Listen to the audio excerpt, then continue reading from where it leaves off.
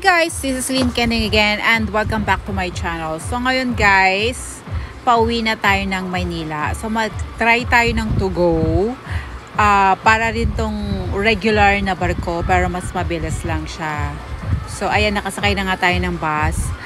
So itong klase ng roll-on, roll-off guys, uh, isang beses lang to bababa ng bus tapos sa akit ng barko.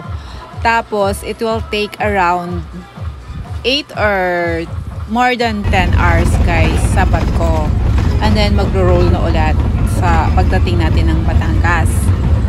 Pero yun nga, medyo mas matagal siya. Hindi kagaya siya ng isang, yung Roro na like, know, uh, dalawang beses kayong sasakay ng barko. So, una muna, bababa kayo ng barko, sasakay, and then after that, magbabas ulit tapos, sasakay ulit kayo ng barko. So, parang, dalawang, basta dalawang beses kayong sasakay ng ferry. Pero ito kasi guys, isang beses lang. So, parang, at tagal nga. Tagal sa barko. Eh, may, mas nakakainip kasi yon pag matagal yung time mo sa barko. Hindi kagaya nung roll on, roll off, na-enjoy mo yung view. Although maganda din naman yung view sa dagat, pero mas maganda yung, alam yung greens talaga. Mas nakaka-relax kasi pag greens. So, doon ako nag enjoy Kaya, okay na sa akin na mag roll on roll off ako. So another experience to guys, panibagong experience.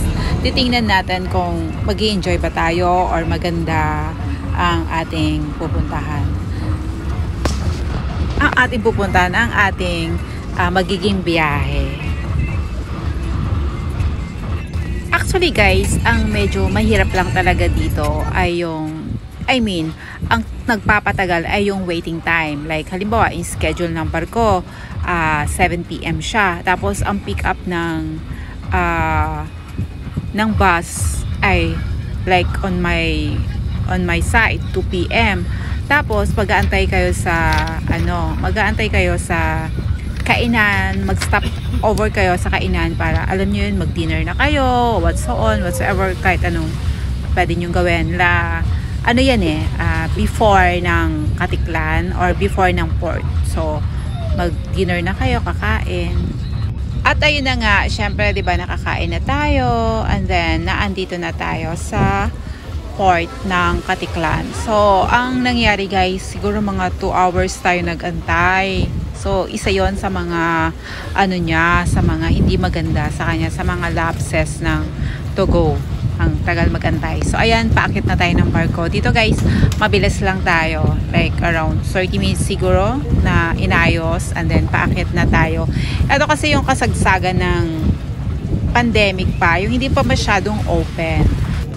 Ayan, dahil nag-isa lang naman ako. So, isa tayo sa mga naunang lumabas at aakyat ng barko, guys. So, kung nakikita nyo, yan na po yung ferry. O, diba? Ang daming ilaw. So, wala pa masyadong tao. Feeling ko nasa likuran ko pa sila. And, ang mangyayari kasi dito guys, is, pipila pa kami. Kasi nga, hindi pa masyadong open. Yung liwanag, ano, ang ganda ng ano. So, hindi pa masyadong open. So, ilalapag kung yung mga bags nyo, kasi aamuyin siya ng K9.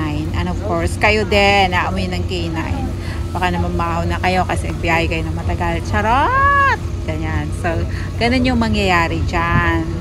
And then, tsaka lang kayo sasampa ng barko. So, bago kayo sasampa, syempre, i-check yung ticket nyo kung tama ba yung, alam mo yun, kung uh, doon ba talaga kayo sasakay.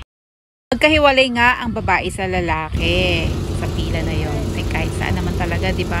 Kailangan mahiwalay ang babae sa lalaki. Charot. So, ayan guys, paakit na tayo. Sobrang smooth naman ng pag-akyat kasi namamanage na. So, eto na ako. Paakit na rin ako. Diba? Ang mangyayari dito guys, uh, parang, ano yun mass bed. Kasi pag nag-pass kayo, mass bed. Tapos, yung aircon naman para sa mga private vehicle naman siya. So, eto siya guys. So, ang kayo ko lang kasi dito is sobrang ingay. Okay lang naman sa akin maingay kasi kung Roro to, na 3 hours lang, okay lang sa akin. Kaya lang ang tagal eh. Tsaka super init talaga. So, ang ginawa ko, nag-upgrade ako sa aircon. So, sa pag nasa aircon kayo guys, actually ganun din naman, pero hindi siya masyado crowded. So, mas meron lang siyang, alam nyo, may cortina yung ano. Ang ganda ng reception, ba So, ayan. Ganyan din, bunk bed din siya guys. Pero, mas, syempre, mas malamig tapos meron siyang ano, parang natatakpan ka kasi may kurtina yan. Pwede mong ibaba yung kurtina. And of course, kung kailangan nyo talaga ng privacy, mamaya itutour ko kayo kung saan yung pwede kayong uh, mag-upgrade guys sa aircon na para talaga siyang na, na room talaga siya. So ngayon, nalopat tayo. Kaya dito muna tayo tatambay sa reception at magcha-charge tayo. Ang mahal lang charge dito ah, ang bagal pa. Kakainin siguro ng mga almost 100 pesos bago ka ma-full yung battery mo guys. Grabe, ang tagal ko, antok na antok na ako. Ang tagal ko dyan. Promise. Siyempre hindi naman natin pwedeng iwanan yung phone natin, 'di ba? alam nyo na mawala ng lahat. Wag lang yung cellphone nyo. Pero nakaka-amaze talaga yung kanilang ano dito guys. Yung kanilang reception. So pwede ko rin naman magpahinga dito sa reception na to sa mga sofa. Pwede kang matulog dyan. Kaya lang syempre maraming dumadaan So, ayan na nga. Hindi ko alam kung nakatulog ako. At umaga na guys. Syempre, kukuha tayo ng magandang view dito. Diba? Alam nyo na yan. Kailangan yan. Minsan nakakalimot ako kasi natutulala ako minsan sa mga magagandang views. Pero ito kailangan kong kumuha kasi first time ko. And of course, akit na tayo sa taas. Kakain tayo guys. So, kung private ka, libre lang yung food dito. Since nasa bus tayo, so, kailangan magbabayad ako. So, ganun lang. Simpleng breakfast lang din naman. So, egg, with ham, or alam ko may pansit. And then, of course, coffee, hindi mawawala. So, masarap na yan guys, ba? At ito panoorin natin. Ito yung nasa dulo ng barko. Sa puwetan ng barko. Oh, di ba?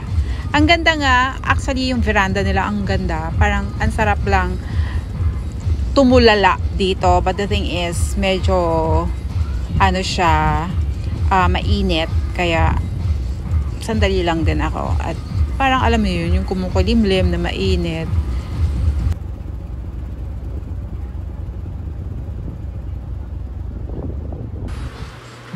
So, syempre, mag-moments muna tayo dito guys bago tayo bumaba.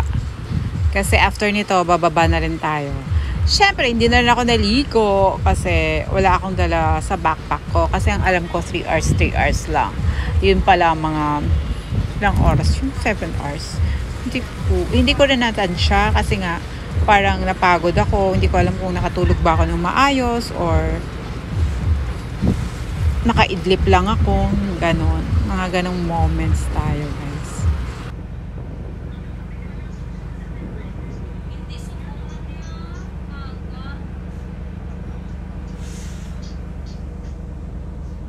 So ito guys, papakita ko pala sa inyo yung mga rooms, 'di ba? Kung gusto niyo ng privacy or may partner kayo, family. So ayan, so para din siyang hotel, guys. O yan, pwede kayo mag-upgrade diyan. Syempre, panibagong bayad. So ito na nga at nakarating na tayo ng Batangas, guys. So bumaba na tayo ng ferry at sasakay na ulit tayo ng bus. So, eh, di ba? Ang ganda din naman. Magandang experience so guys. Actually, mas maganda to pag marami kayo. Pero pag kagaya kong nag-iisa lang, ay just ko Lord. Di ba? Buti na lang nga, nagbablog ako. Kaya, medyo, alam niyo yun, nalilibang tayo ng konti. Pero kung halimbawa kayo lang, parang wala lang din. Pero ang ang seste kasi nito guys, ako 'di ba, bilang vlogger, gusto ko sana, alam mo yung magpa-follow. Uy, follow nyo naman ako, pero hindi kasi ako ganon. So, ang nangyayari dyan, wala. Lagi lang akong sa isang corner, ganyan. Iba pala pag, ano, nakakahiya din naman, guys. Siyempre, approach, approach ka ng, ano, ganyan, ng mga tao para i-follow ka. Uh, wala sa akin, hindi ko talaga nagagawa. Siguro, in future, kasi sa ilang balik ko na ba naman, sana marami na akong ginawa, marami na akong napasubscribe, pero hindi ko talaga nagawa. So, ayan na nga guys, ang kendeng, ba diba? Parang feeling ko talaga puyat ako na hindi ko maintindihan. Yung feeling ba, super ano, super nakakapagod. Pero nakaka-enjoy naman siya guys. Ayan na yung sinakyan natin. So ngayon, pupunta na tayo sa ating bus.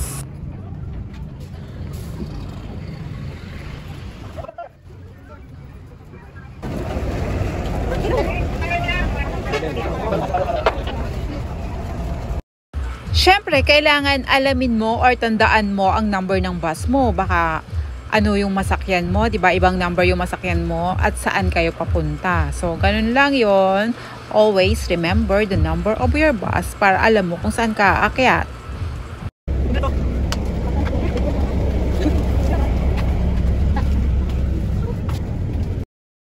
So, isa sa nagpakain ng oras natin guys ay nung pumunta yung bus natin sa kanilang terminal.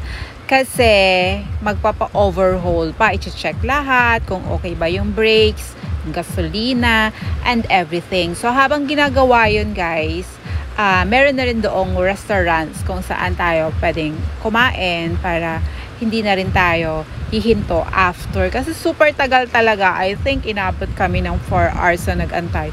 So yun yung so yun yung hindi maganda. Yun yung downfall ng uh, to go. Yung nagaantay ka, super tagal, before and after. So, first time ko kasi to, kaya ngayon ko lang nalaman na ganun pala katagal yung travel time and yung waiting time. So, ayan na nga guys, na andito na tayo sa terminal nila at ito yung restaurant guys. Hindi ko pala nakuhaan ang video. So, yan, dito kayo mag-aantay. In fairness, may TV naman. And then, ayan, papunta na tayo ng Maynila. So, in total pala guys, umabot siya ng 27 hours. So, isang araw mahigit. Diba? Kasi sobrang tagal ng antay-antay. So, sa Pasay Terminal ako bumaba guys. And then, from Pasay Terminal, nag-taxi na ako going to Cavite. Actually, mali nga ako eh. Dapat pala nag-alabang na lang ako. Then, taxi going to Cavite. Kaya medyo napalayo patuloy ako.